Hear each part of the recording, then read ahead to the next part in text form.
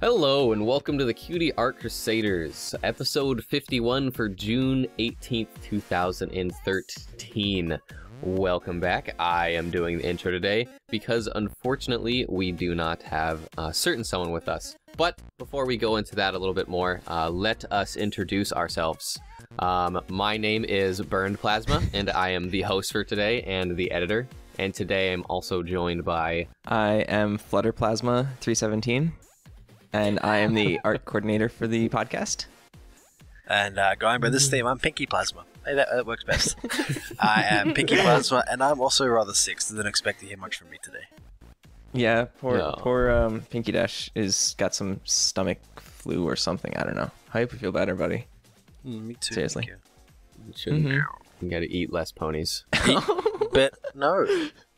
That's what that's what the Assassin Monkey always says. He's like he goes off and takes a nap, or he doesn't sleep for like 24 hours, then he takes like a four hour nap, and he woke up. He's like, I woke up and ate some power ponies, and I'm good to stream. crazy, crazy. I'm Anyway. so confused. but okay, we'll go But with it. horse meat is delicious. They, they put it in burgers and stuff. oh no. Anyway, Anyhow, anyway, we're missing plasma. Yes, Uh. um, we're we're st- we're missing Rainbow Plasma today, unfortunately. yeah. Um, he ha- has a new job, so he has a different work schedule. Um, so our normal recording day doesn't exactly work very well for him. So unfortunately, we have to record without him today. And then he's going to be editing this episode. uh, good stuff. Yeah. sucker. He does all the work. It's great. Hence why we're going to keep joking about him all this episode. Yep. Yep. uh, okay. Do we have any other talking points? Yes, uh, we have a couple. Um, we put out a journal last week uh, about our one year anniversary, which is actually one week from now. Um, with our 52nd episode on June 25th, which is so exciting. Um, and we are doing a two episode special. The first part is basically uh, we're coming up with some stuff for you guys. Uh, so it's yeah, it's kind of a secret. Um, but in the second episode, uh, we have a couple of things that uh, you guys can submit in, and we kind of want to feature it. Um, so we'll put a link to the journal in the description of the YouTube video. Um, basically, we're looking for just like a minute long snippet um, of audio or text, basically uh, saying why you watch our show. Um, or you can send us in some one year fan art, um, kind of like anniversary celebration. yeah. Yeah. Yeah. So I can't. It's it's like it's kind of mind blowing that we've been doing this for a year now. Right? It's Yeah. ridiculous. Yeah, you're not wrong. Well, Yeah. okay. and uh, Um, one more thing is we are all going to Everfree Northwest. Um, I don't think Oh, we yeah. actually brought this up on the show yet. Are we? So um, uh, so I don't think we have. no. That's So, news to, that's, uh, news, that's news to me. By the way, we're flying you out here. Thank you, Dash. No. Um, yeah, so uh, we're all going to Everfree Northwest. So uh, if any of you are there, it would be totally awesome to see you guys. Get to meet the fans. Yeah. So if anyone's interested in meeting any of the CAC, because Pinkie Dash actually will be flying his butt all the way from Australia Mhm. to Everfree Northwest it's to join us. He's he's Um, got to flip upside down halfway through the trip, but you know, it's worth it. So we'll probably be hanging out around the around the um, con everywhere. Um, we might actually make a little day where we sit down at the uh, Everfree Network table if they have a table again this year. I'm not sure if they will, um, but if they do, uh, maybe we'll make a little announcement. But anyway, Yep. So look forward to that. Watch us and follow us on Twitter and stuff because we'll probably be tweeting about it because blogging. Um. anyway, so what's our theme for today, Flutter Guy? oh wait, wait, wait, wait, wait, one more thing. We have Uh. to acknowledge that you are now a pizza chef. Hello, it's Rainbow Plasma editing myself in because I can do that occasionally as well. Uh, you haven't forgotten about me? You've been gone for five minutes in this. Uh, okay, okay. Um, so yeah, I'm editing and uh, just wanted to say normally I'm the one who objects to the putting of individual pieces of fan art uh, because that's usually unfair unless there's like a special reason to. But you know what? Fine. Just this once, one time, I will edit in this piece of fan art because apparently they loved it and it is kind of funny and it's got a lot of references and stuff, I guess.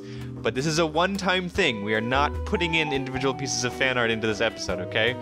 So just this once, I'm going to make the exception. So enjoy and know that I'm also listening through this the first time while I'm editing. So this should be fun. Oh my Yes. goodness. I tried to skip it so Uh, hard. yeah, you did. I tried so hard to skip I that. backpedaled so much. Don't Uh, skip on the pizza sauce burned. Oh goodness. uh, I I can't lie. It's pretty great. that's like pretty awesome. Mysterious Chaos kind of outdid himself there. That's it's a pretty great piece. Yeah. I mean, whether I like it or not, it's fan art of my OC, regardless of the mustache. Oh goodness. uh, your expression. All right. Yeah. So, um, without further ado, or kind of getting off onto other tangents, we'll jump right into the theme, which uh, for this episode is traditional painting. Um, and we kind of took that term a little loosely. We're doing painting plus watercolors. Um, so yeah, Watercolor's a form of painting. yeah, I know. No, it's, no, it's not. Just with water colors. it, it is traditional. Hey. Um, Get on with it. Yes, get on with it. so we'll start off with a piece called Canterlot Night by Trigion. And John. yeah, something like that. Uh, this is an Yeah. oil painting, uh, oil on canvas, and it depicts Canterlot at night. Um, and Burned, I know you've done quite a lot of oil painting in the past. And by quite a If lot, by quite a lot, I mean, mean what, two? two pieces, yeah. I've done two oil paintings, um, two pony-related oil paintings, Mm-hmm. and then I've done a lot of paintings for class, which means I've done a lot of horrible, horrible paintings that never be seen, um, which are over there in the corner of my room because they're terrible. Oh, um, because they're from when I was learning. But the two decent oil paintings that I actually did are on my DeviantArt. Um, self plug cough. If you're interested in seeing Put those. those on the screen, Plasma.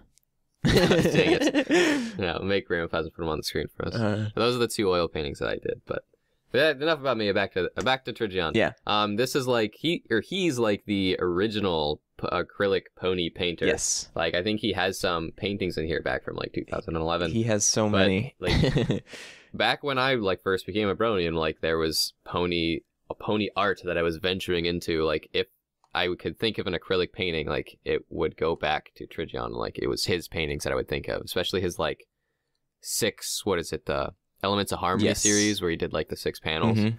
um and like that's real iconic for like if we're talking about iconic acrylic brony art or paint or just brony paintings in general he does does he do acrylic paintings or oil paintings They're oil oil remember. paintings. Oil paintings? Yeah. Yeah, that's right. Because he really enjoys the messy medium. Yeah. I believe he said in one of his journal, one of his descriptions, he really, really enjoys, um, like having to work with something that's really like oily and, um, like tangible, and you can feel it, work with it, hmm and no, what- whatever you want to call it, Yeah. Well, it physically sticks up from the canvas. You know. yeah, like if you look at one of his other pieces, which is called Schoolhouse, um, like you can physically see the brushstrokes and and see the paint basically glopped onto the canvas. Um, and it kind of gives it a feeling of depth per stroke kind of thing. Mhm. Um, yeah. a lot of oil, oil, oil, oil, a lot of oil painters will really do that. Is they'll really glob paint onto the canvas because oil paint you can really like stack on, stack on top of each other, Mhm. stack on top of each other if you kind of let it dry a little bit and then keep adding colors. Mhm. Acrylic, you more it's more about thinner layers and kind of having a thinner painting. I suppose you could really glob on acrylic painting when it does dry faster. Yeah. I don't know, Is it but is it just to to add texture to the painting and and kind of give it some depth, or is there? Um. um, yes. mhm. Uh, when when an artist kind of like globs on painting, it's it it kind of gives it depth and it kind of gives it a little bit of style and it kind of it makes the paint so it's physically more visible Mhm. and kind of how it's physically globbed on, like we've mentioned, Mhm. um, becomes something that you can see visually because the painting is no longer flat. It's no longer like a picture plane Yeah. it actually does stick up. It actually creates a rough surface and creates some kind of dynamic. Hmm.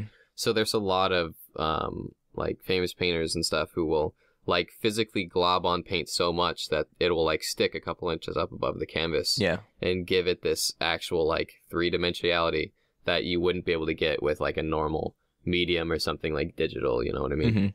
And it also, I mean, it kind of sticks with that whole messy medium kind of thing. Um, like even more so, I guess, uh, if you if you do glob on the paint, because it kind of forces you to do that. Because when you glob on the paint, I guess you, you can't really have too fine of a brush stroke. Mhm. Yeah. Yeah, it's easier to make thinner layers with acrylic, I do believe, mm-hmm. um, because it's plastic based, so you use water to thin it. So you can kind of make um, using layers. You can kind of make very very thin pieces, and you can still make thin paintings with oil. Um, but oil tends to have colors bleed through each other a little bit more, I believe. hmm But that might be the strength of pigment. I'm like I'm not a professional painter by any means. Yeah. Um, so like I technically don't know this. We should have someone on to help us, like Cosmic Unicorn, who knows what she's talking about. we totally should. you, mean, you mean again? Yeah. Yeah. So, but yeah, like I was saying earlier, um, how how you physically like put a lot of paint on the canvas. Um, Trigion really enjoys doing that. He really enjoys having that really thick, globby paint, and it gives things an extra sense of depth and dynamic that you wouldn't normally be able to get with most mediums, and that showing your physical brushstrokes in the way that the painting goes and the paint is placed and, and, and everything and you can see its direction and kind of like the edges of the paint you know when you put put it on put your brush on there so let's see what the example we're looking at is um bring it up uh Canterlot Night if you Yeah. look kind of at the castle in the bottom right and make this bigger Yeah. Why even bother with Pretty fancy paints and paintbrushes? Just use poster paint and fingers. Finger painting.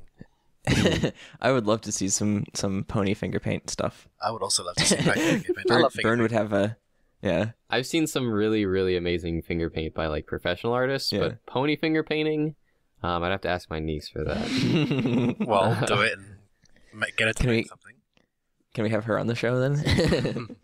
oh maybe you can ask her to paint a pony and then ask her to make us some fan art okay no Uh, okay, so a better example I'm actually gonna bring up yeah. is the uh, the schoolhouse one that you brought up. Mhm. If you actually look at the um, stuff like the roof Yeah. and And the trees uh, too. I guess kind of the walkway, um, even Yeah. the trees in the sky, you'll notice that those little like dabs of paint they all have direction given to them, and you can kind of see the edges of the paint where like paint overlaps, and it kind of creates this flow and movement. In fact, the sky, I'm pretty sure he was using um, what is it? Uh, God, Starry Nights by Yeah. Um, Oh, I forget who it is. God, what is this? this is the artist everyone's supposed to know. Um. Um, Picasso? No. Van Gogh. Yeah. Van Gogh, thank Yep. you. An We're an art show. We started out. Yeah.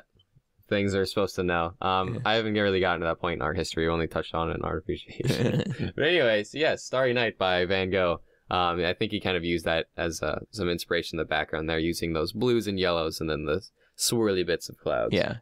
But I mean, that's real like iconic, you know, Mhm. acrylic painting Mhm. is physically being able to see your brushstrokes and flow in the movement because um, paint in general is very good at picking up, you know, flow in the hand. And it's like, it's one of those mediums where it's sometimes it comes more about the artist and his physical putting the paint on that canvas because showing those brushstrokes is another way to say, like, I made this. Like, yeah.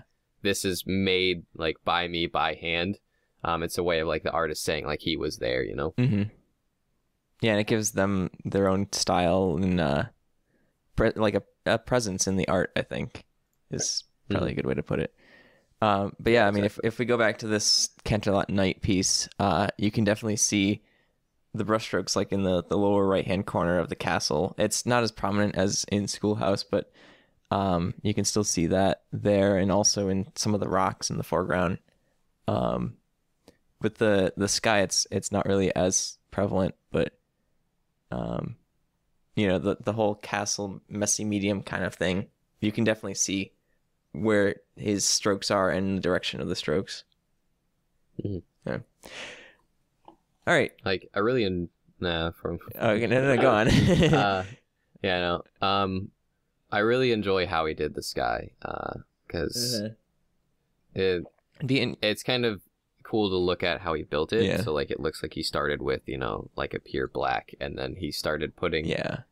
uh, paint on somehow. Um, obviously, he wasn't globbing the paint on for this guy. Yeah. He was putting it on in some other fashion. And then he actually like spackled paint on by which I assume he like got a brush and like hit it against his hand and like spackled different colored paint onto the sky. Mhm. And he has the oranges and whites and blues, and it ended up turning out really cool and some reds and like violets in the background underneath. Yeah. And it ended up making like a really cool feeling. Pretty It'd be sure he really just put cool the white paint in his mouth and sneezed. I am an artiste. it's Oh, that there, is- there, there is- is some uh, highly unconventional methods of creating art out there. Like that one, like like that one guy that pees on his painting to make art. Like that's just weird. I didn't know that, but thank you for educating me. Uh, I've, I've seen that it's one. always nice to stay artistically educated. Anyhow, Anyway, uh, yeah, it, it would be really cool to see like a uh, how he made the sky, um, because it it doesn't really scream traditional oil painting. It like, but you know, it'd be interesting to see his whole process. Yeah. definitely. All right, so uh, on to our next piece. Nope, not done yet. No. All right, go go ahead. Yeah. um, my last little point was um, I was gonna mention the mountains, the sky, and the castle kind of create a interesting dynamic where you have the black mountains, the sky with color, and then the castle is actually like one of the brightest parts with like some really bright things of white in there. Mhm. I would have liked to see the castle maybe been a bit more dim or desaturated in places like that one white pillar or the entrance, how it's that really like bright blue, Mhm. to just kind of have it recede into the background a little bit more because it really pops out. But um, the black mountains in the bottom, like even though that's like super super black, and I'm sure if we were to see it in person, it would actually be like a deep violet or something Yeah. um, would it they they again like kind of come forward and create a bit more um depth even though they're like pure black because darker things tend to come forward in our view um, we've made that example on the show where if you hold your hand in front of you like your monitor a bright light your hand's darker than the light so it'll like be more forward um, and then he kind of plays a little bit with atmospheric perspective lightening the mountains in the background Mhm. so, and then having the castle be the brightest point, like you can still tell like castle clo- closest, then mountains, then sky. Yeah. So, I don't. It's, it's kind of done well, and it's cool. That was the last kind of point I just wanted to point out and like make people aware of. You know? Yeah. Gotta try to stay educational. well, it's uh, it's good for bringing your focus to the castle too, because that that's kind of the main focal point of the piece. Exactly. So yeah, kind of makes it stand okay, out. now I'm done. Okay. I have no more points. All right. So our next piece is called MLP Morning and Evening Ponies by Blixit. Uh, this is a watercolor piece, and it is adorable. uh, Yes. yeah, it's it's really interesting. Um, like to contrast with the oil painting. Um, because I, I don't know. I personally haven't done watercolors in many many years. Um, but I know it's it's a bit harder to control the um the ink, or is it called ink? Paint. Uh, Paint. Just paint. It's paint. Yeah. Uh, in in You'd say control the watercolor or control Yeah. the water because it's it's very it's very very watery. It's basically water that carries pigment. That's why Mhm. it's called watercolor. yeah. because uh, watercolor painters they'll use water and then they'll use um, the paints and they'll put a little bit of water in the paint and then get their paintbrush loaded up with water and some pigment and then they'll paint on watercolor paper which is a special kind of paper that we kind of mentioned in our Jai interview um, last week um, that's very very thick and it absorbs water well and it's very rough so the water sticks to it so it has um, a lot of surface tension so water wants to bind to it wants to stick to it and the paper will hold the pigment well Mhm. hold the color well hold the water well and you can get different kinds of paper so water flows differently to give you different kinds of style so on Yeah. whatever but yeah you could just say like um, holds the water holds the paint as Can you perfect just Yeah. define what, what, what watercolor is? Because I've got there's there's the different um, kinds of watercolor stuff. Like I've got watercolor pencils and crayons, and there's watercolor paints, and there's all sorts of different stuff. Oh yeah, sure. Um, watercolor painting kind of just applies generally in that you're using water and pigment on paper. Um, watercolor pencils are basically a kind of pigment that's bound in maybe not a wax because wax repels um, water, Mhm. but some kind of substance that binds pigment in the pencil, so you can draw um, with your pencil on paper and then you physically put water on top of what you Yep. just drew with the pencil I've done that. to create kind of a Oh, that's cool. watercolor pencil Yeah, drawing. that's what I've got. So that way you're skipping. That's Hmm? that's what I've got. Oh, that's yeah. what you've got. Okay. Yeah. That way you're skipping like just directly putting water into um the paint and then putting it on the canvas that way or the paper that way. You're physically putting the pigment on first with the pencil, then putting the water on. hmm So you're kind of like skipping a step there. And then you have a little bit more control with the pencil, so you kind of be a little bit more exact. And then um, you put the water on top of it, giving it a completely different feel than as if you were to put water on water, because then you're putting water on pigment. Yeah. Um, and then watercolor crayons, it's the same thing. They're not crayons by definition because they don't use wax. They use some other kind of medium to hold them together. hmm Um, but you're putting pigment on first and putting water on top of it Yeah. I, rather than brushing it on. I can imagine that with the the pencils or the the quote unquote crayons, it's a lot easier to control, um, kind of the flow rather than using a paintbrush to put the pigment on the paper. because with watercolor pencils and crayons like you're it's more of a drawing than as a painting because you're drawing the pigment on Mhm. but then once you put the water on you're using a paintbrush on the water and that's when you're physically like painting um, with a brush um, and like mixing colors colors like controlling water flow and um, like making the colors flow together because like um, with pigments and drawings and crayons and pencils they'll the pigments are separated they're very hard to like blend together unless you like you know scribbly Yeah. scribble them on and like push the colors together. But Mhm. with watercolors, you can take that water and then you can take it and you can physically mix the colors together. Yeah. Um, and you have um, control that way. Which gives you some really cool effects, like in Rainbow Dash's mane and tail in this piece, and also in Twilight's uh, mane and tail. Yes. Uh, Where you see those colors blended. yeah, where all the colors are blending in, and the colors Mhm. also fade out towards the edges um, into the white. Um, Burn, Yeah, kind of like they bleed into the paper. Yeah. Um What's that? in terms of like the the background, like the water that they're standing in, um Mhm. it's it seems like uh the blending of that bluish color um Mhm. is a little lighter. How is that because there's more water and it's more spread out? Uh Yes. like there's more water and there's less pigment. mhm. And like Jayu was saying, is that if you're quick, you can use something like a rag or a paper towel to dry paint off. So watercolor painting is very cool and unique in that it's not about using pigment in oil and then putting it on, um, a, and like putting it on a on your canvas. It's more about how much water and how much pigment you put on the canvas and how much you take off.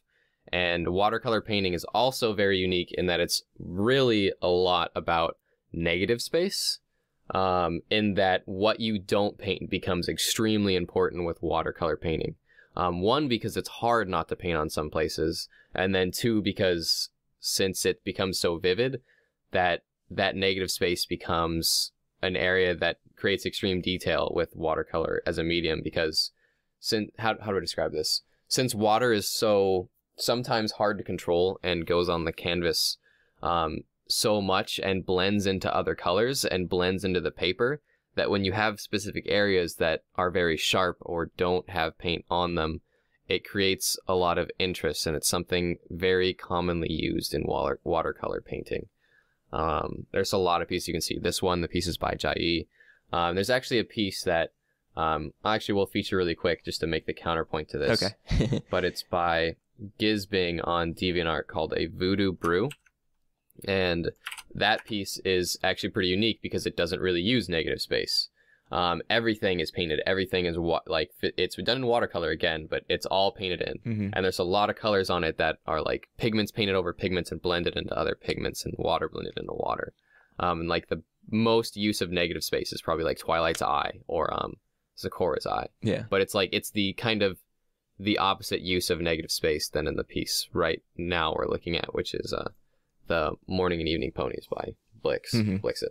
I could imagine that that trying to get that separation between two different colors to be fairly sharp um, is probably pretty difficult because you don't want the colors to blend in together. Um, Yeah, exactly. so yeah, I could see where like that negative space would come in handy because you don't you you only have to worry about kind of cutting one color off sharply rather than um, Mhm. cutting two off. Um, Yeah, actually, exactly. Like that that that point of like how colors mix and colors cutting from other colors, and then sharp edges or soft edges, like how much water you use and how much pigment you use, so on and so forth. That's basically what creates the interestingness and the dynamic of the painting, especially in this watercolor painting. And it's something that watercolor artists really enjoy because it's so easy to do with watercolor as a medium. Um, and Blixit is an awesome watercolor artist. That's kind of that's one of the main things she does artistically. She has a lot of really cool watercolor pieces in her gallery that are mainly like Pokemon themed. She has some really cool Eevee pieces um, that I actually I actually bought a little Eevee piece by her um, at Emerald City Comic Con, the first convention I went to. Um, that's where I originally saw her art. Um, but she's really good in it. She's really skilled in it, and she knows her medium. She knows what she's doing. And looking at this piece in particular, there's a lot of things in it that make it a quote unquote really really good um, watercolor piece. In that, what I was saying earlier, how colors will um, be sharp on edges and soft on edges, and how colors blend. So just how you were mentioning how the colors blend into each other. So like in Rainbow Dash's mane, how you have all those colors and they really flow together because there was a lot of water used there and a lot of the colors physically blended in together. Because with watercolor, what you can do is if you lay down a color and then lay down a color next to it or another color and you let them dry or whatever and it they are sharp edged if you don't like that you can go back over it with water and the water will reenact the the, the color and the pigment and it will bring it back out again. It will blend together. So you can turn something that was a sharp edge and turn into a soft one. Yeah. Now, that being said, if you have a sharp edge, that has to go on last. Everything that is a soft edge has to go on first because you can't go back over it with water because it will make things underneath it soft. hmm So with stuff like Rainbow Dash's mane and then the water underneath underneath Rainbow Dash, Rainbow Dash, that was used to like a really high amount of water and then it was really soft and she Yeah. probably like um, didn't use a lot of pigment or um, so was higher water than pigment ratio whatever hmm and then used paper da- paper towel to dry it and whatnot. Um, It seems like and then on areas, oh go ahead. Uh, I, I- I was just gonna say, it seems like with watercolors, um, more so I guess than oil paintings, you can really use layering, um, to get kind of a different blending effect, like in Rainbow Dash's mane. Um, So you have to be careful with that layering. yeah, Because uh, colors will start to bleed if you use the right wrong kind of water, whatever, whatever. hmm So in spots like the hair strands or the um of both Twilight and Rainbow Dash's mane, and then like the dragonflies, that was used a high amount of pigment pigment and a low amount of water, so the water didn't bleed into the paper. Um, it just went on and the color went there and it didn't spread. So again, going back to a point I was making earlier of sharp edges and soft edges. Um, the reason why this piece is so unique and interesting and done so well is that it has a really great use of hard edges on stuff like um, Rainbow Dash and Twilight, and certain details in the water and in the flowers and in their hair, and then also includes soft edges like in um, Rainbow Dash's hair and the above, and then the water, and then how Twilight's mane kind of flows into everything, and how that all plays, um, and especially again with the point I made about negative space with her wings, which is super cool to me. How she didn't paint in spots on the wings, and then it made those pop and physically become part of Rainbow Dash and part of the painting, but yet they're not painted. Um, and that's using the negative space to like its absolute full potential, which is super important in a lot of watercolor pieces. yeah, that's really cool. Um, I wonder, is it possible to like mask things, uh, in watercolors? Yes. Yeah. Um, you can mask certain things with wax. Mm-hmm. Um, so I'm assuming that she may have done that in places like the uh, details in the water and like the ripples. Yeah. So you can put wax on your paper using like a wax pencil or crayon or whatever. Um, pencil is probably more exact. Yeah, and like make areas where the water and pigment won't go on it. yeah, Or um, how I was mentioning earlier is how you can put a pigment on and then let it dry. hmm Um, I'm assuming that's what she did for areas like the water on the bottom left. She probably painted on there, let it dry really thoroughly, and then went back over it with water and then dabbed it real quick hmm to get kind of that blue over the detail. yeah, So it didn't start bleeding everything together and creating that water bleeding into the paper feel like in the bottom part of Rainbow Dash's mane all the way across the piece. Hmm. cool. Because all the way across the piece, she put water on there and then let it sit, and it really soaked into the paper. And that like rough edge to the bottom of her mane hmm is the pigment blending or soaking into the fibers of the paper is what's creating that um, kind of effect and dynamic is the the physical fiber to the watercolor paper is what you're seeing. Yeah. Huh. That's really cool. Yeah. Right. Yeah. yeah. Uh, Love it. yeah. All right. Uh, unfortunately, we do have to move on. Um, to uh, Stop playing Rainbow Plasma I'm sorry. Just want to talk about art all day. Go- go. I know you do. Uh, this is a piece called "Commission Good Boy" by Sophie Cabra. Um, Sophie Cabra. yeah, This guy's awesome. yeah. Um, Vern, do you want to talk a bit about this piece first? I do. Go. Um, this piece is acrylic. So we featured oil, then watercolor, and now we're back to and now we're to acrylic, um, which is our third little painting style of this episode in like the popular ways to paint. anyway, um, it would be really cool to see a pony fresco off topic, that would be so whatever. cool. Um, so, uh, or maybe spray painting. any uh, any Anyway. Italian bronies do it. so Soapy Cabra is an acrylic painter, and he does digital art as well as traditional. But he really enjoys doing traditional art pieces like this. And as of recent, he's been doing a lot of pony square acrylic paintings, and he's actually been selling them on Etsy, which I found out about a little too late, so I couldn't snag one of some of my favorites, unfortunately. But oh well, there will probably be more paint to snag in the future paintings. yeah. Um, but again, he's a really awesome acrylic painter. Um, and you can kind of see the difference in painting with acrylic through painting with oil in in his style and how he paints. yeah. Um, so now it's pos a kind of a point on paintings like acrylic to um, acrylic to oil. Um, every paint kind of acts a little differently.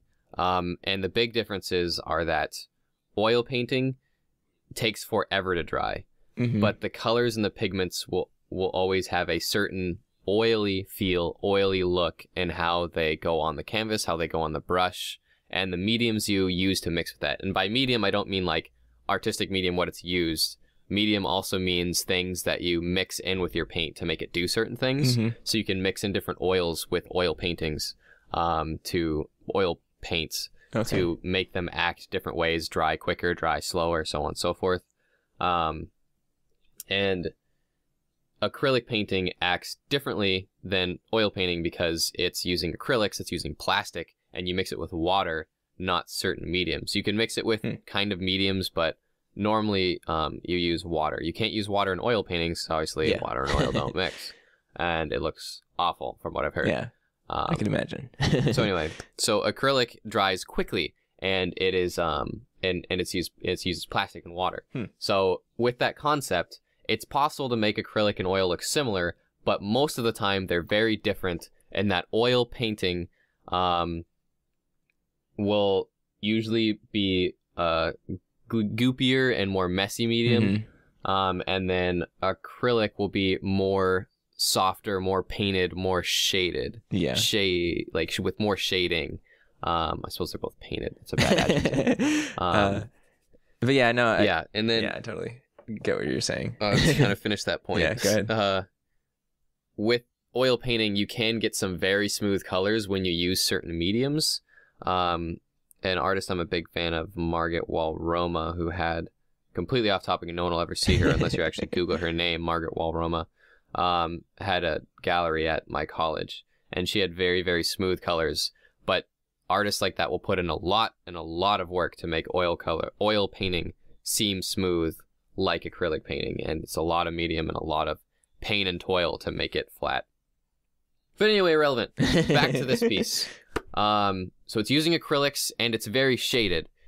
So since acrylics dry quicker than oil most of the time with the majority of artists it will create that different feel because they can make the painting quicker and they can shade it Mhm. um, quicker and then paint usually doesn't mix into other paint as often. So since oil's always wet um, a lot of the time when artists will paint on stuff oil will constantly be mixing in together with other oil paintings. And it's a lot about mixing together that paint. With acrylic you let a color dry and then you paint over it with a similar color. And then you create creating those layers of paint rather than mixing wet paint in with wet paint. It's about letting the putting the paint down and letting it dry. So Huh. with soapy cobra in this piece it's a great example because in places like discord and Um, even uh, Discord did um, Big, Mac. Yeah. You can you can see how there's lighter colors of shading on certain parts, Mhm. and then darker colors of shading below it. Um, it probably would not look the same if it was oil. Mhm. Anyway, um, real cool acrylic piece. Yeah. his really thick outlines, something like that would be very difficult to do with oil painting. But since it's acrylic, it dries quicker. It's a little easier to maneuver sometimes. He can draw like the characters, the figures, the shading first. Um, really get those sense that sense of color and shading and like kind of dynamicness and light to dark, hmm and then go back over it with that, um, with the stroke, you know, to give it that My Little Pony feel. Yeah. Yeah, it's it's really Blech. neat that um using acrylic you can do something like this where it's it's fairly show accurate because of the thick outlines.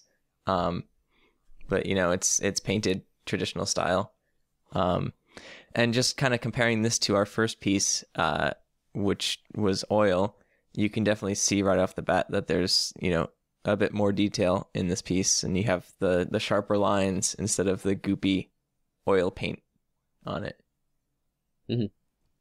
that has a lot to do with the artist's preference and the artist's style and a little less to do with what kind of paints are used but it's definitely with each of these artists they enjoy the quality of the paint in which they've chosen from acrylic to oil and it's very transparent in the piece that they've painted. So that's a, like that's exactly that's a great point because in our first piece that artist really enjoys messy painting really enjoys the messy medium enjoys that goopy paint so he paints in oil to whereas Sophie Cabra really likes the that fine detail outlining his paintings, getting that more sense of soft shading because there's a much more like enhanced sense of soft shading gradients of color and like in Discord's neck where it kind of has like that bluish and um tint that kind of matches that's kind of part of the background and the front of his neck and then goes darker towards the back of his neck or in his lion hand um, how it's like real gold on his shoulder and then goes into darker brown on his on his uh, elbow. Um, stuff like that is much easier to create using an acrylic medium rather than something that's really goopy um, like oil. So now with with that kind of shading, um, would basically there be many many strokes of different colors to make that, or would it would there be some kind of blending involved in uh, an acrylic piece? Because I I think in a in an oil piece, obviously to create some shading, you would um, blend together colors. I think. Yeah. Um, with with oil, um, you would have like a traditional way to do is you would have two two paintbrushes and you would have like two colors and you would make them kind of similar and then you would constantly use two different colors to go in between light and dark. Um, uh, so how we learned it in class was we had um, white and then we had black and then we would make some shades of gray. And then to make like a sphere or something, we would have two paintbrushes and we would start with the lighter and then start to go darker. And then we would kind of mix them to mix them together um, and as we used our two paintbrushes, eventually the paint the paint on the paintbrush would become more gray, and we'd eventually get that tone on, on the in between. So with oil, you're constantly painting while the paint is wet. It's all mainly oil painting is all about painting with while the oil is still while the paint is still wet because oil paint takes forever to dry. That's the point. You're painting in wet painting. It's all about painting in wet. But with acrylic, you want you want it to dry, so it's about painting on dry.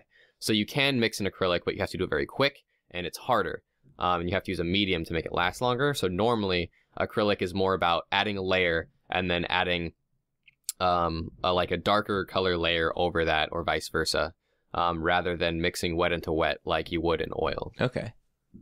Would you like to to get those different shades? Would you mix it beforehand before painting on the medium, or um, It's I believe it's usually always a good habit, especially with any kind of paint, to always mix your paint beforehand. Um, with acrylic, it's a bit harder because it dries quicker, so you have to use something to keep your paint from drying on like your easel or something. Um, or not. Is, is easel the wrong word? yeah, it's um, um, Whatever you hold your paint on. palette, maybe Palette, Yeah, thank you. yeah, You have to use some kind of medium to keep your palette from drying up. okay. Um, and oil is some uh, you use. You don't have to worry about that. Yeah. because, like, it never it never dries. Like I've in our class, you'll like start a painting the next day and have some stuff on your palette and just leave your palette there, and then the next day you come back and you can still paint with that paint that's been sitting there all day. Yeah. But with acrylic, no, nope, it's a hard piece of plastic. Yeah. And uh no no hope of returning to at that point. yeah, exactly. Yeah. Um Yeah, I mean in this piece you can definitely see that it's it's still a painted medium. Um if you look at like for instance Discord's neck um or his his arm you can still see brushstrokes.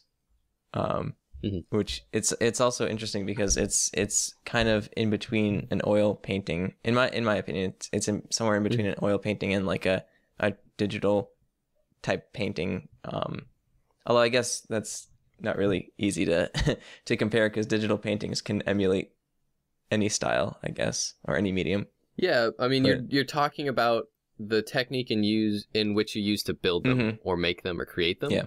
So, like with this, when I look at it, it kind of speaks digital to me, digital to me. One, mainly because My Little Pony is a digital, Mhm. um, like art, so to speak. Yeah. Like My Little Pony as a style is digital.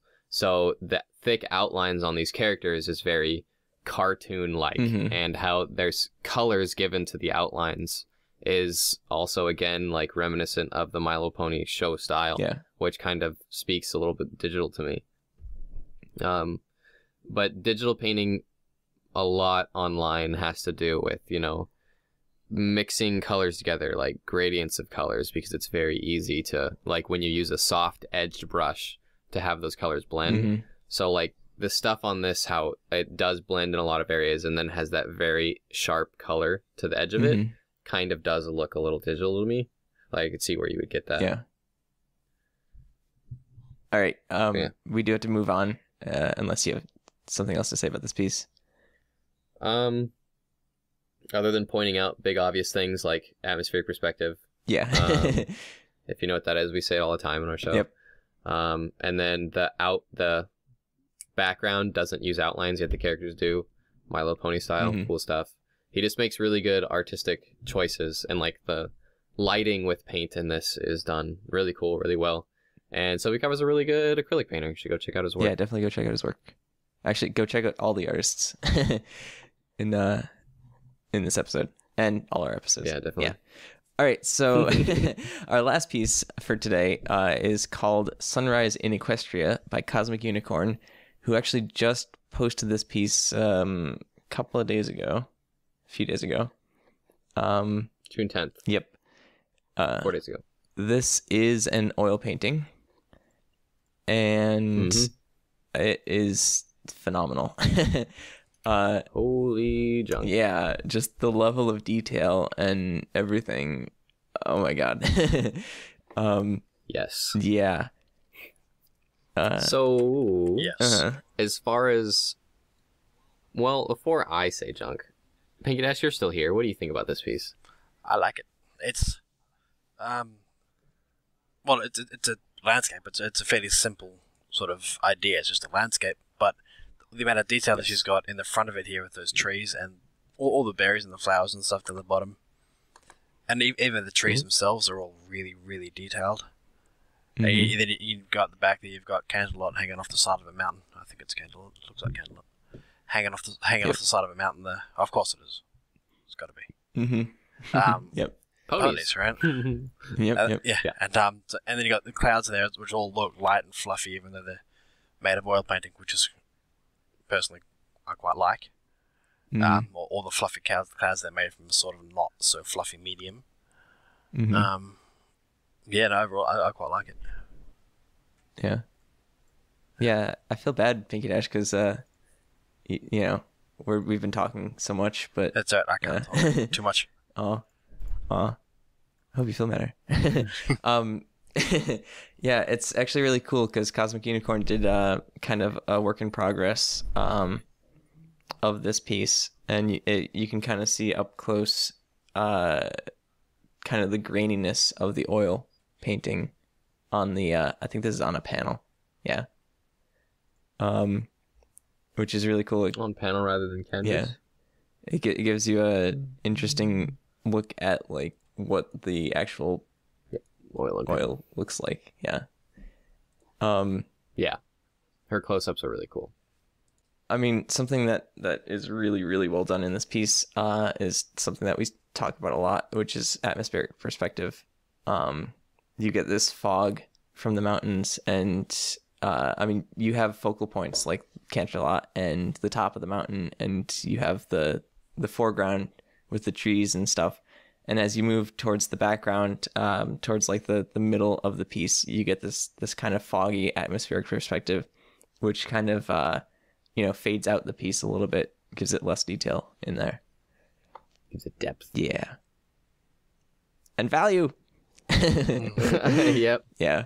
Um, a visually similar illusion to what we could see in real life as depth. hmm An art, a well created artistic illusion. Yes. because it's an illusion of depth. There's not actually depth there. It's just a panel that we can like pet and touch. but it's giving the illusion that through this window, which is a flat piece of wood, Mhm. has depth to it. Yeah. Art stuff. It's cool. Yeah, it is. But yes, um, as far as oil, like pony oil painters go, I think, in my personal opinion, Cosmic Unicorn is probably one of the most skilled and awesome oil painters who happens to be a brony. Now that's a huge statement, but I on DeviantArt specifically in what I follow, I haven't seen an oil painter who has who can create something as beautiful as what Cosmic Unicorn has created here. That being said, this is a master study. Mhm. Um, this painting, the original of this painting, was done by someone named um, Albert. Uh, I believe in German that'd be Bierstadt. Albert Bierstadt's piece called Sunrise on the Matterhorn. Um, and he was uh, a landscape painter master. Um, hence why it's like a master study. Um, and he was one of like the most famous painters for painting like landscapes in general. And she got to see this painting in person, um, which is what really inspired her to make this piece. She made most of it, and I believe it was unfinished. And then when she went to go see the piece in person in a New York in New York in a gallery, um, she lives here in the Pacific Northwest, and she went to New York to, to like and saw this piece in a gallery. Um, it inspired her to finish this piece, and she decided to add her own touch, which was adding Canterlot there on the top. Mhm. And this piece is actually going up for auction at Everfree North Everfree Northwest charity auction. And I'm pained to say that because I don't want people to know about that because I'm gonna be there. But- and you totally want to buy this. Um, I I very much do. Yeah. Um, I'm in love with this painting. It's very cool. But I'm a huge fan of Cosmic Unicorn anyway. As Mhm. has been apparent on the show. Um, but oh my goodness, like everything you mentioned, value, depth, perspective, atmospheric perspective, like all the stuff is there. I mean, the master painter obviously had a huge understanding of that, and Cosmic Unicorn has recreate recreated that in oil painting wonderfully. I mean, I'm looking at the original, and I can't even like I can barely tell the difference in between her painting and the original. Like the original has a lot more super super small details in the trees and in the clouds. In fact, like in Cosmic Unicorn's piece, it looks like she just kind of blurred it a little bit. Like her piece is just like slightly blurred in comparison to the original. But I also assume that the original is very large in comparison. The original is 58 by 42 inches, to where Cosmic Unicorns is 16 by 20. So Cosmic Unicorns is like um, a little over two feet by three feet, um, to where the other one is like almost five feet yeah. by six feet. Gives you a little bit more Um, breathing room if you're working on something yeah, that big. to make that extreme small finite detail in oil of all things.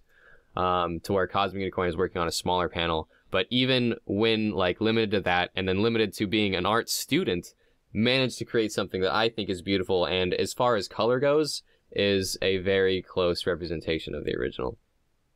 Uh, the foreground uh, looks a little bit darker in the original, kind of again creating that things that you know things that are darker and in front of you are closer, and things that are lighter are farther away. Um, but still, like, absolutely beautiful. Mhm, Um, mhm.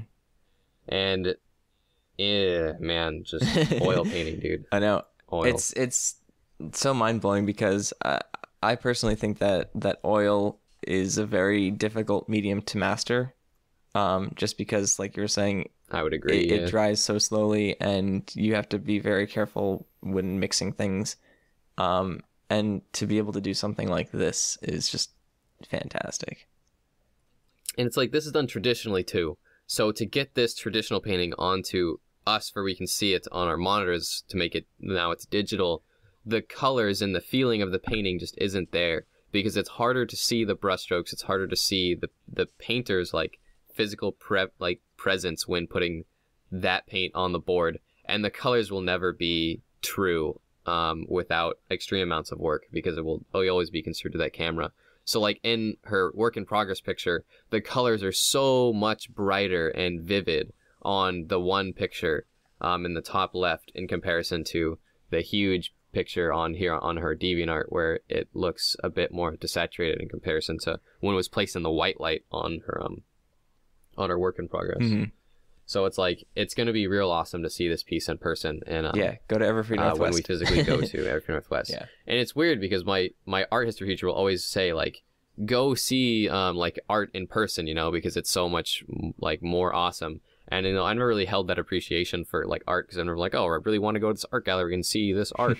but it's like now that I have this silly passion about ponies built up so much that I see this piece digitally and I'm like, I really want to see this in person so bad that I feel this kind of silly in my little brony. uh, no, I'm I'm right there with you. Like, uh, I mean, even just looking at this on the computer monitor, um, it looks fantastic, and I can't imagine, you know, what it looks like in real life. Um, yeah, I'm I'm looking forward to Yeah. seeing it as well. So. Yeah, So all of the artistic things we've ever mentioned on the show summed up into this piece: yep, color, value, perspective, stuff, ponies, you name ponies. Yeah. I don't even have like intelligent stuff to say about this piece. It's just there. Just look we'll just go with ponies. it. Canterlot Castle done really well. Look at that. Yep. uh, Like, oh my goodness. uh, yeah. anyway, Anyhow, uh, so that is all of the art for today. Um, Dash, are you up to doing questions or? Mm, you should ask. You can have a go. Okay. Um, all right. So we have some questions. Uh, first question is: I love creating digital arts with high resolution, and I've got good feedback and improved my technique in my every piece, but I've got serious problems with speed. I'm extremely slow compared to everyone, anyone else. How do you think I should improve my speed in drawing? Sent in by Discord. Um, I guess I can start with saying uh, 30 minute challenge. um, 30 minute challenge. yeah, we had a trail on uh, 30 two second weeks challenge. ago. 30 second challenge, yeah. um, we had a trail on two weeks ago and, and we talked a little bit about the 30 minute challenge. Um, really, eh, as with anything, you know, it's it's all about practice, and and with practice you get better, and that includes you know drawing faster. So if you if you take time to to draw every little detail and and stuff, uh, you're gonna make fantastic art, but it's gonna take a while. Um, Forevers. but yeah, if you if you limit yourself, um, and you you basically say, okay, this piece I'm going to do really quickly, but I'm not going to maybe put as much detail into it. Um, and then you can work your way up from there. You set set a time limit and and participate in these these 30 minute challenges because they really give you some motivation to to do things quickly. I'll also mention over on um, if if you're lack if you're lacking on what on ideas to draw over on the uh, MLP Drawing School subreddit, they do weekly or bi-weekly challenges. If you have a look at those, I think one of them was draw something as quick as you can as well. Now I think about it. But uh, if, if if you're lacking on on an idea, have a look at those, get an idea, and then just draw as fast as you can. Even even if it looks terrible, just keep doing it; it'll get better. Yeah, Yep. that's So just like yeah. Go on, Oh, go go, ahead. on. Okay. No, yeah, just like Flutterguy mentioned, um, like give yourself a time limit and then force yourself to try to complete your whatever you're doing, whatever you're painting, as much as possible by that time limit. Um, and like this is a very common practice. This isn't just something we're saying. This is something that's really like Mm-hmm. even art art majors do this. When I was in drawing one, that's something we did was we did life drawings, and we started by doing um, one minute drawings, then we did 45 second drawings, and we did 30 second drawings, and we did 15 second drawings, and we finally did 10 second drawings. Um, to where we had like a model in the center of the classroom, and he would be like, all right, 15 seconds is up. Switch. Since you switch positions, we have to like throw our paper. um, and he's eventually like, you have to do this so quick. If your paper flies off your pad, whatever, just let it fly. So people like throwing papers all over the classroom. And it was a lot of fun. I can imagine. what that does is it make it forces you to create quick lines. So the concept of what we were learning is that we have only have a certain time amount, uh, like like to paint something or or draw something. So we were using charcoal, and what painting quickly forces you to do, and how you should look at it is you should look at what you're painting because we are drawing from like visually seeing because that's one of the quickest ways to draw is look at something then draw it rather than pulling it from your mind. Um, and because it skips a few steps because you don't have to visualize something, you just see it. Uh, and what it forces you to do is it create it forces you to create, um, how do I put this, precise, thought out lines as quickly as possible. Mhm. So it's not that I'm just drawing lines because that's the first step. Is honestly just drawing lines, even if you're awful, just do it. um, because you get comfortable with drawing lines, you get comfortable with hand-eye coordination. Um, and then as you're painting quickly, what our teacher would try to stress uh, that we should do is make well thought out lines, um, methodical lines. Like look at negative space, which is really important when drawing visually, and then look at the contours and lines and where other lines intersect, where other lines meet, where other lines match up or almost parallel in certain angles and stuff like that. And then look at those lines and then draw as quickly as we possibly can while taking in those certain things into account. So as you try to draw quicker, you will eventually pick up little things of like how to draw something more to scale or more to the correct size or make it look more like a pony than it should. So with your being forced to do 30 minute challenges even long, Yeah. there's something online that um uh, there's a lot of places online actually. You can just Google it. Um, that where it has a bunch of pictures of models, uh, like human models, and then you can set a timer for how long you get to draw those models. So um, have Photoshop, whatever program you're drawing in, or even just draw on paper, and put um, that thing in the background, um, and have it go in increments of 30 seconds, and keep changing, and draw on paper or your tablet as close as you can, as fast as you can, of those pieces in uh, like every 30 second increments or one minute increments if you're not comfortable with 30. Try one minute and then move to 30. Mhm. And eventually, like, if you just do that, like, three or four days in a row or uh, like four weeks in a row every weekend when you get time, like, the fourth week when you start drawing those things, if you look at the drawings you started with, they'll look like crap in comparison to the drawings that you're ending with. Yeah. I have my art portfolio behind me of like my sketchpad. The stuff in the front of that looks friggin' terrible, but the stuff in the back of that I'm actually pretty proud of. Um, and those are those 30 second drawings we were doing in class because we did it twice. Yeah. Now that being said, an awesome idea would be to like get a bunch of pictures of ponies. Like if you have a favorites gallery of ponies or something, get a whole bunch of pictures of ponies. Um, just a whole bunch. Put them in like a, a file, like a single file, like one big file, and then start a Windows slideshow, and then set that slideshow to 30 seconds or whatever, and then start sketching those bloody ponies as fast as possible. and there you go. You have a pony-inspired artistic practice session thing. There you go. Yeah. It's actually not a bad it. idea. That's yeah. That's that's that's, my answer. yeah. Cool. Um Yeah, I don't really have anything else to say about that. yeah, because to, to increase your speed about something, you just have to increase your comfortability with it. Mhm. And the only way you're going to increase your comfortability with drawing something quickly is to try drawing it quickly, do it awful, and then try to become better. Um, that's the only way with anything. So it's like, friggin' draw it quick, make it look like crap. and when it looks like crap, you're like, I did it. I made something look like crap. I have achieved my goal. and then you make it look less like crap, and now you're an artist. Yeah. There you go. Ponies. ponies. All right. Okay. So one uh I think we have one, more question. Uh it's going to have to be kind of quick. Uh you find yourself suddenly thrown into the world slash setting of one of the art pieces that you reviewed in this episode. Which one is it? Why? And what would you do upon your arrival? Sent in by. Do you want to pronounce her name? Because I know I know she's Ela. gonna hate. Uh, it's. hate. Uh, I thought it was That's Isla Isla Wolf. Wolf? Yeah. Isla Wolf. I- Isla Wolf. Lila Wolf. Li- E Elia Wolf. E I It's L. Elliot, it's Wolf. Wolf, I'm pretty sure. sorry, sorry, Isla Wolf. Whether she loves us or hates us, uh, we love you too, E. Isla Wolf. Thank you for your question. Yes. Um. Oh God.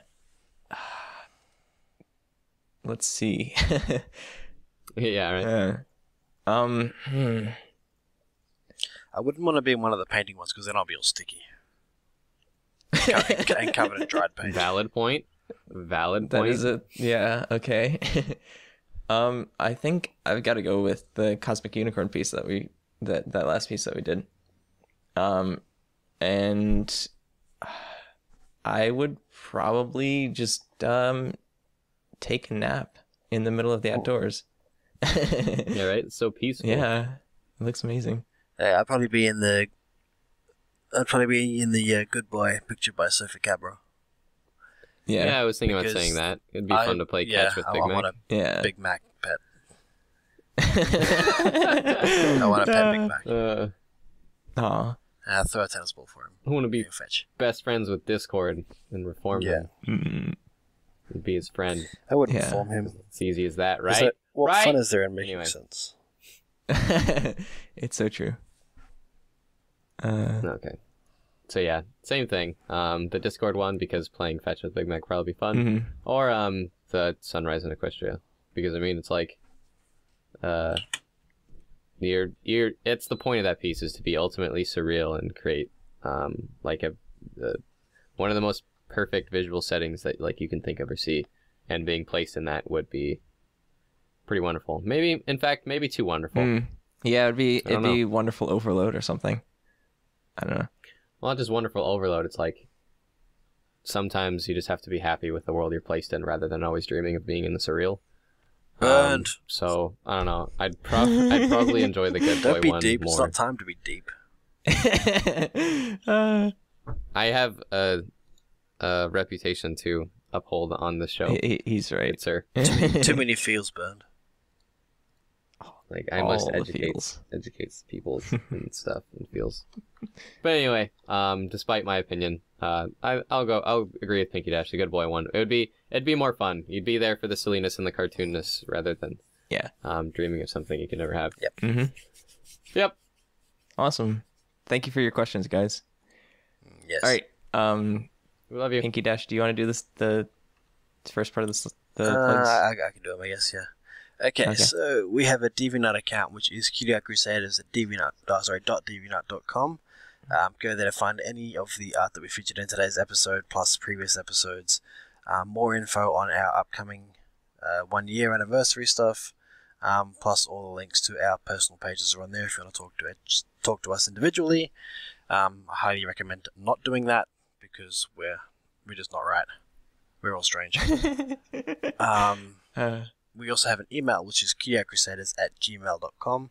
Uh, please send in any questions you can think for us to answer, um, either about art or about us personally, but still art.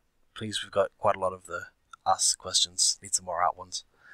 Um, and also, we, that's the place we'll be accepting any stuff for our one year ep- episode. All, all the fan stuff that you guys send in will be please send in through the email. Um, remember to put in the subject line what you're sending us. So if it's stuff for the one year episode, put one year episode or something similar in the subject line just so we can find it nice and easy. Um, yeah, that's about all I've got. Yep. We have a Facebook page, which is facebook.com slash Cutie Art Crusaders. You can go there, give us a like. Uh, we'll provide you with information on the day that we are doing a stream. Uh, and we have a Twitter, which is at CutieArtCrusade. Uh, it's basically the same information as Facebook, plus a little bit more uh, in the event that we have technical issues or anything Did, you, like did you hear you can use hashtags on Facebook now? I did. I don't know what use that will be, though. You can be like Trends. hashtag Cutie Art Crusaders. You could see what's trending. Yeah, we could totally start the hashtag QDR. No, no, no. Speaking of trends, something that's really cool I just saw on Reddit is a it's a little link that it will see it'll show you in real time what everyone like on the internet is googling.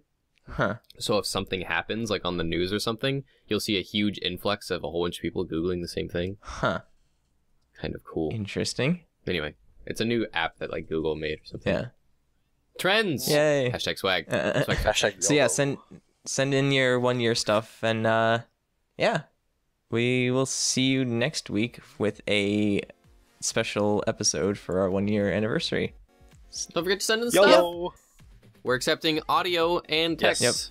You don't always have to be the perfect. You don't have to be a perfect artistist to make like. You don't have to make us fan arts. You can send us in just Send audio. us a minute of you We love just you. saying Either way, just a minute of giggling.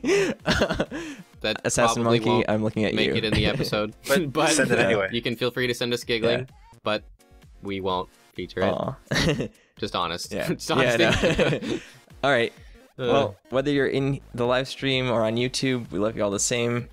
Thank you for coming out and supporting us. thank you, Flutter Plasma. Uh, I am Flutter Plasma 317. I'm Burn Plasma 01. and I'm Pinky Nap. I'm gonna go have a nap. I'm tired. Aw. Feel better, dude. I'll try.